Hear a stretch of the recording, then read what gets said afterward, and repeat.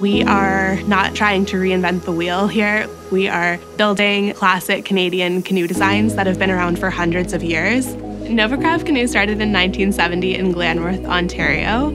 Since then, it's grown. Um, our business is primarily recreational canoes for family use and canoe tripping use. We build all of our canoes here on site in London, Ontario. We have two main processes. There's a rotomolding process for plastic canoes, and there's our composite canoe process, which is fiberglass, Kevlar, carbon fiber, and our proprietary material called TuffStuff.